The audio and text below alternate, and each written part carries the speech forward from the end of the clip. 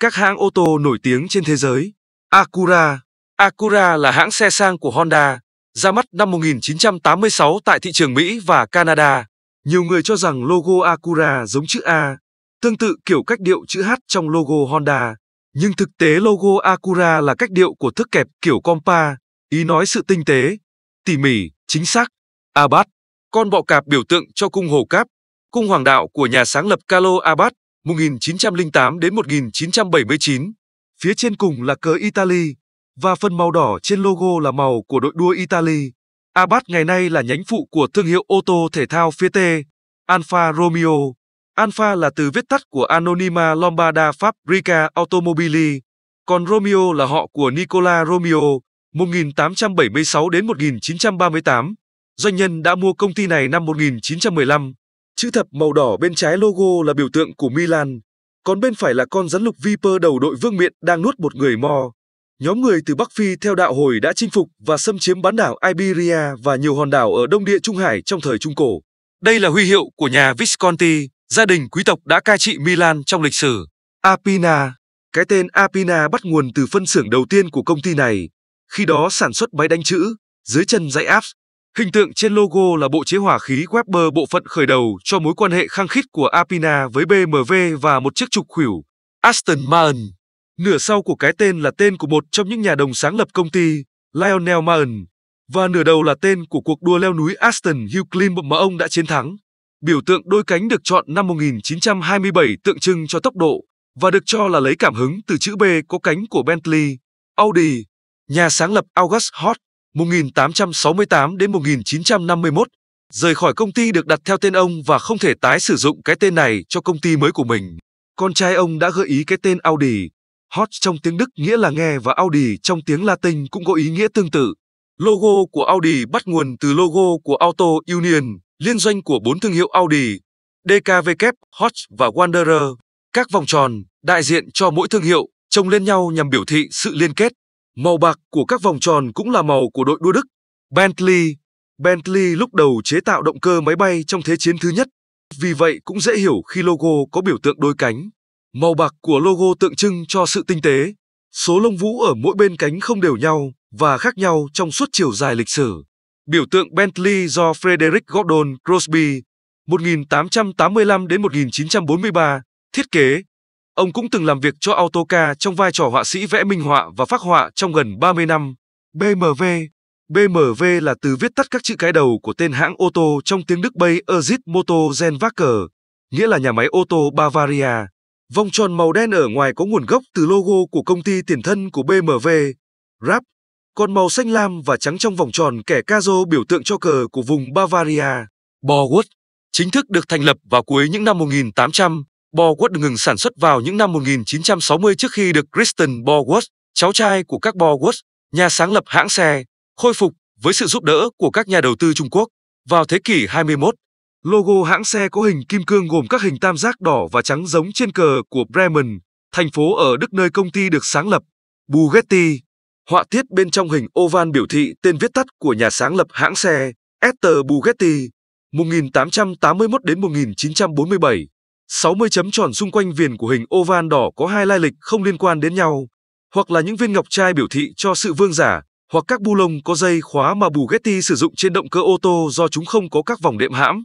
Buick Hãng xe được đặt theo tên nhà sáng lập gốc Scotland David Buick, 1854 đến 1929. Logo ban đầu của Buick chỉ là các từ Buick viết theo các phong cách khác nhau. Năm 1938 hãng mẹ General Motors muốn nhấn mạnh vị thế của hãng xe chỉ là cấp thấp hơn của Cadillac và ra mắt logo hình khiên dựa trên phù hiệu của nhà Buick cổ xưa ở Scotland. Bùi có nguồn gốc từ dòng họ này, kết hợp với hình con hươu và chữ thập. Hình ba chiếc khiên xuất hiện năm 1959 để đánh dấu sự ra đời của ba mẫu xe mới, Le Sabre, Invicta và Electra. Năm 1975 Bùi cây chọn biểu tượng chim ưng thay cho logo chính dù biểu tượng hình khiên vẫn xuất hiện ở một số đầu xe. Ngày nay, logo Bùi đã được đơn giản hóa nhưng vẫn thể hiện màu đỏ, trắng và xanh lam của nhà Bùi.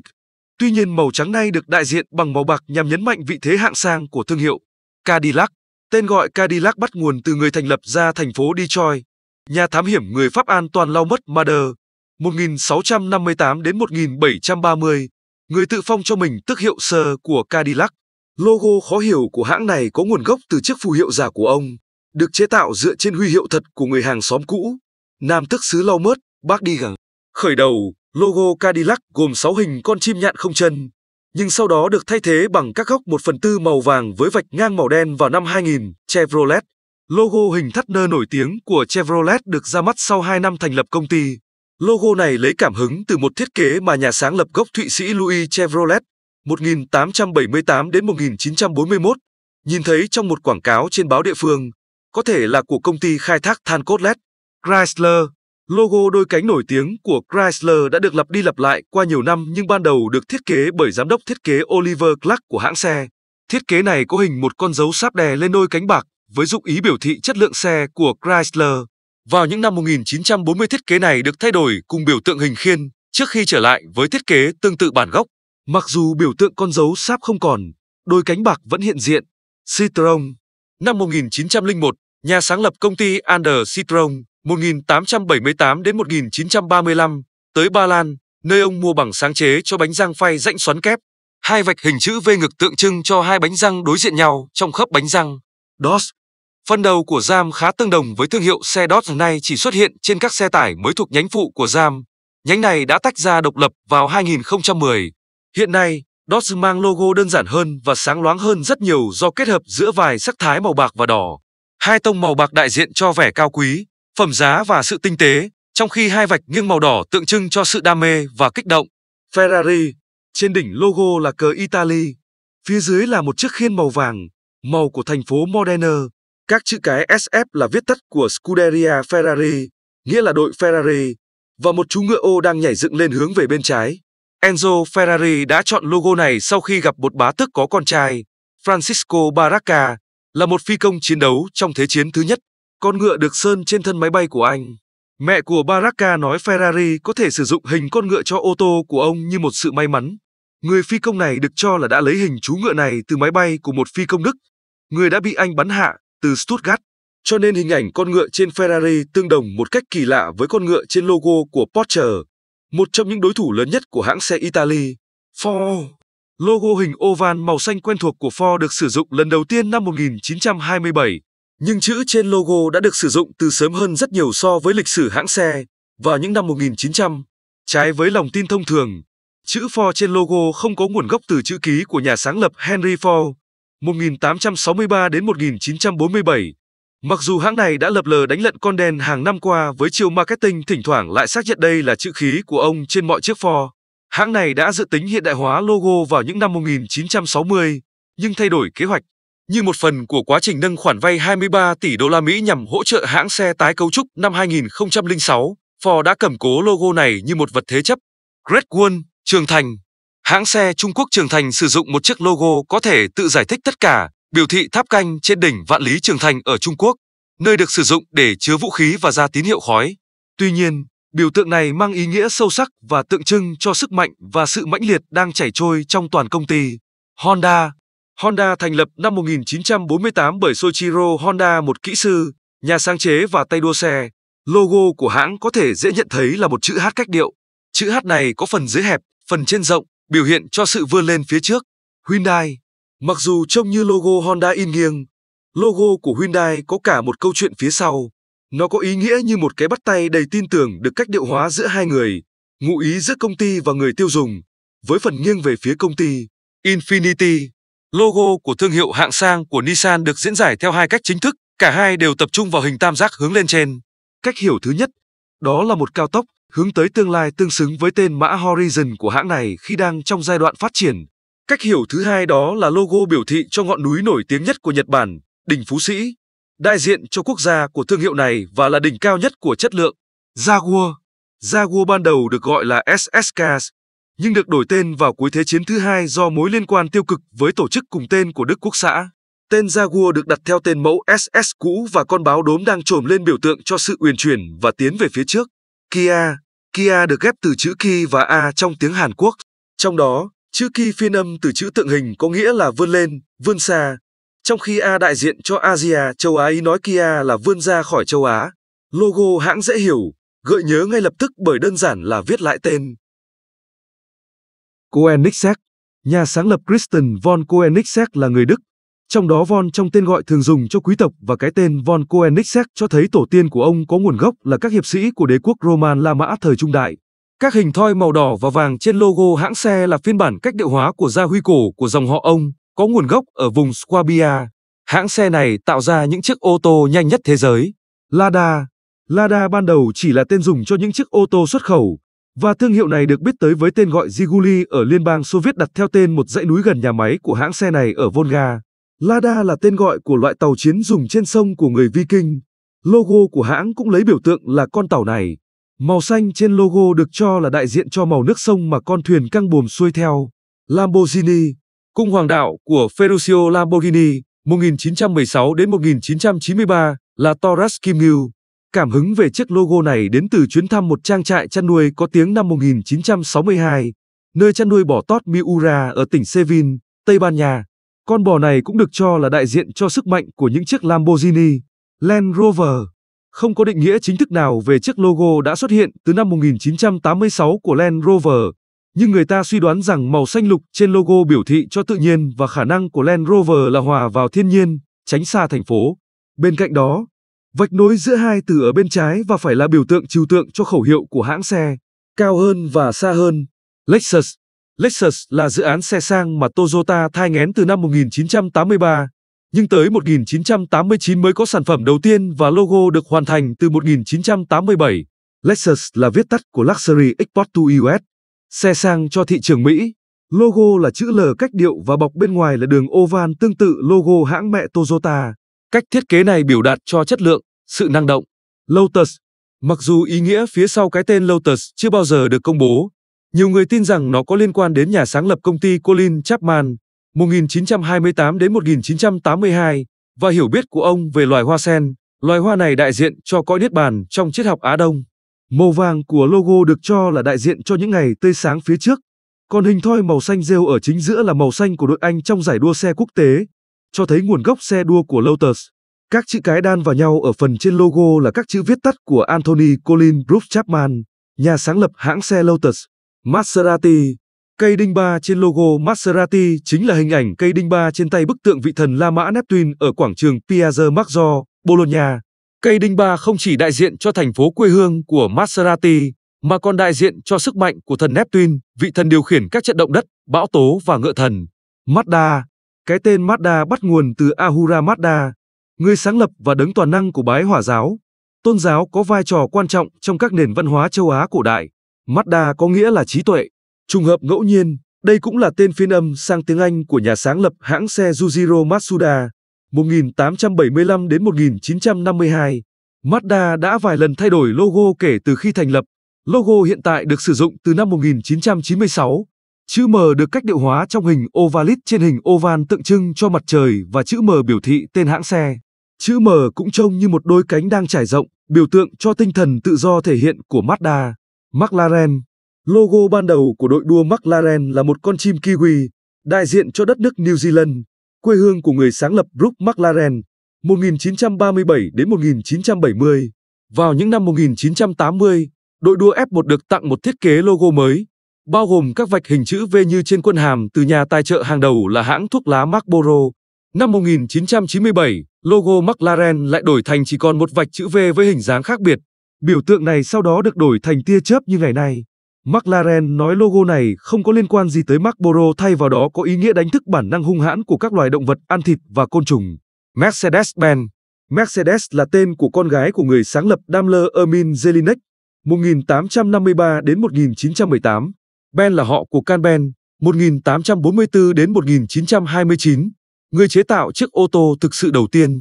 Khi hai công ty này sáp nhập năm 1926, Mercedes-Benz ra đời. Logo hãng này có nguồn gốc từ một tấm bưu thiếp được Gottlieb Daimler gửi cho vợ trong những năm 1870. Trên bưu thiếp ông đánh dấu nơi ông đang sống bằng một ngôi sao ba cánh và viết Một ngày ngôi sao này sẽ tỏa sáng trên khắp các nhà máy thắng lợi vẻ vang của chúng ta. Ngôi sao ba cánh được sử dụng lần đầu tiên trên ô tô vào năm 1910 và ba cánh của ngôi sao tượng trưng cho đất liền, biển cả và bầu trời. MG MG là viết tắt của Morris Gara, ban đầu là một phần của doanh nghiệp ô tô do William Morris 1877 đến 1963. thành lập ở Oxford năm 1924. Logo hình bát giác của hãng được chọn từ nhiều mẫu logo MG khác nhau từ các mẫu Morris phổ thông, một và ô tô thậm chí có cả bảng đồng hồ hình bát giác. Mini, hãng xe Anh thành lập năm 1959. Năm 1996, BMW mua lại tập đoàn Rover của Anh và tiếp quản các thương hiệu con, trong đó có Land Rover và Mini. Logo hiện nay được Mini dùng từ 2001, trong đó chữ Mini đã rất dễ hiểu, trong khi đôi cánh biểu đạt cho tốc độ và sự tự do. Mitsubishi, không giống các hãng xe khác, cái tên Mitsubishi miêu tả cho logo của hãng xe, chứ không phải ngược lại.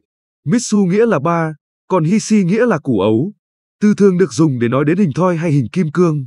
Trong tiếng Nhật, âm H sẽ chuyển thành âm B khi phụ âm này nằm ở giữa một từ. Biểu tượng ba viên kim cương được nhà sáng lập Iataro Iwasaki 1835 đến 1885 lựa chọn. Logo này gợi nhớ đến cả gia huy hình ba lá sồi của gia tộc Tosa, người chủ đầu tiên của ông, và gia huy hình ba quả chám xếp chồng lên nhau của gia tộc Iwasaki. Morgan Nguồn gốc logo hình đôi cánh của Morgan vẫn chưa rõ ràng, nhưng có một sự tích kể rằng logo được lấy cảm hứng từ một phi công chiến đấu trong Thế chiến thứ nhất là cơ trưởng Albert Bone, 1896 đến 1917, người đã được tặng thưởng huân chương thập tự Victoria, huân chương quân đội cao quý nhất của Anh, là chủ sở hữu của mẫu xe ba bánh nguyên bản Aero. Ông miêu tả cảm giác phấn khích khi lái chiếc xe giống hệt như khi ông đang lái máy bay. Nissan Nissan là tên viết tắt của Nihon Sangyo, nghĩa là công nghiệp Nhật Bản, là công ty mẹ của Jatesun. Khi cái tên Nissan thay thế Jatesun ở đằng sau mỗi chiếc ô tô của hãng này vào những năm 1980, logo của hãng là tên công ty nằm trong hình chữ nhật màu xanh đặt ngang trên một hình tròn màu đỏ.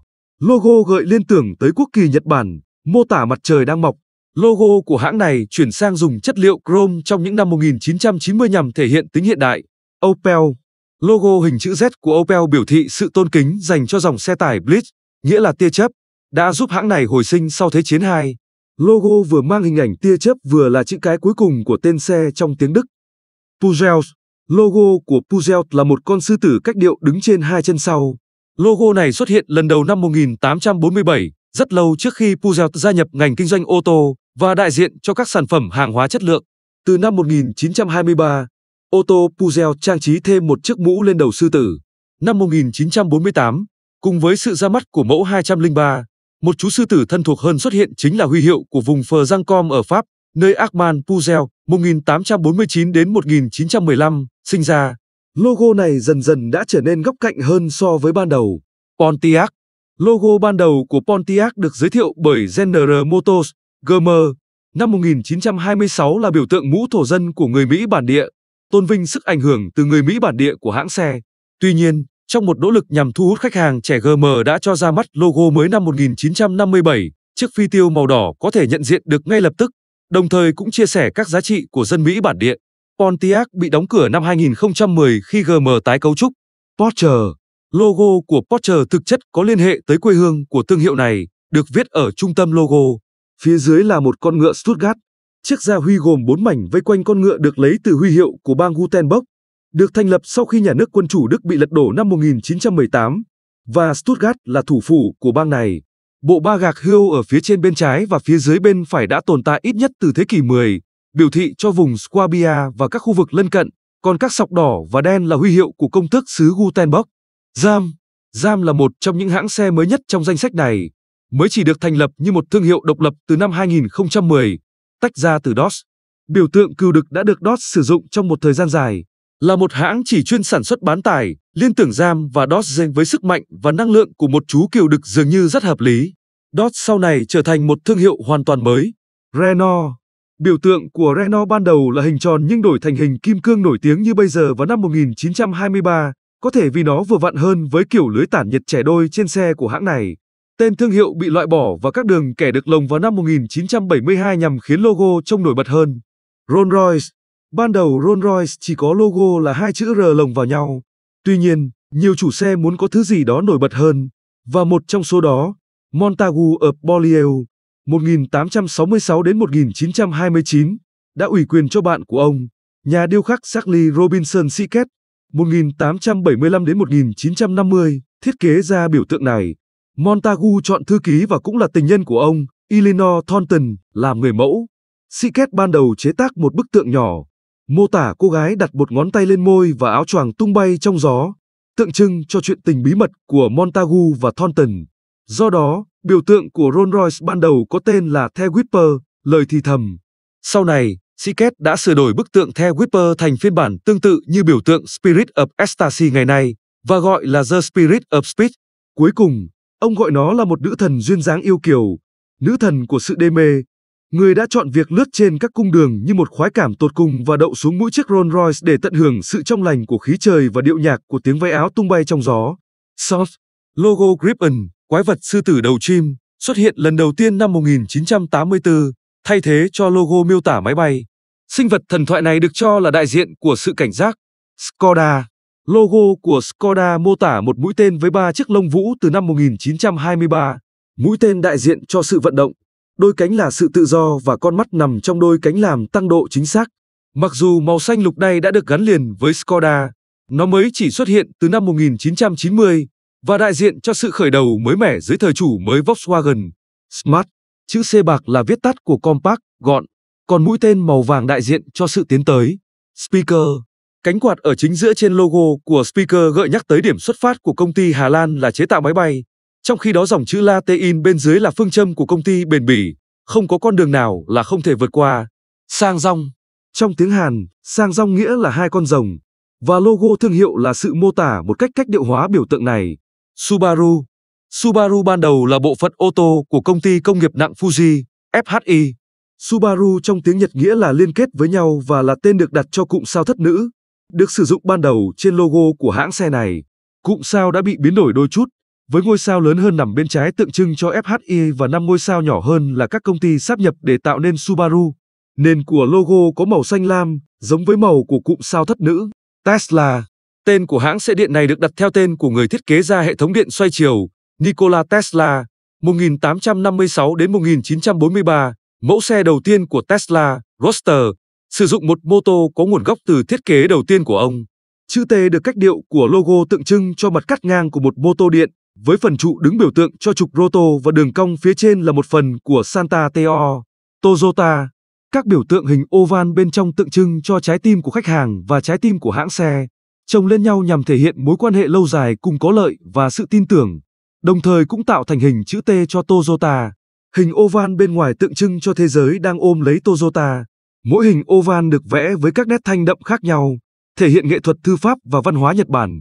Phần nền còn lại bên trong logo biểu thị các giá trị mà Toyota hướng tới, chất lượng, giá trị, niềm vui khi lái xe, cách tân và tính nhất quán trong sự an toàn, trách nhiệm với môi trường và xã hội.